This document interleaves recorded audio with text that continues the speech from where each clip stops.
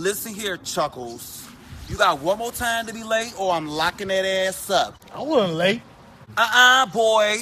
That box on your leg tell me everywhere you go. And you was in McDonald's from 10 o'clock to 10.30.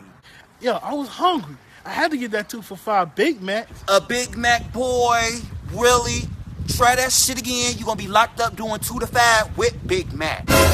Now get out of my face, Chuckles, Buckles, Duckles, cause you built like a belt buckle. You tell me what my assignment is today? Here you go. Man, what the hell is this? It's a bird cage, dummy. What am I supposed to do with this? I need you to take that and kidnap all them birds in that tree. Bro, are you serious? How the fuck I'm gonna get up that high? I don't know, but you better figure it out.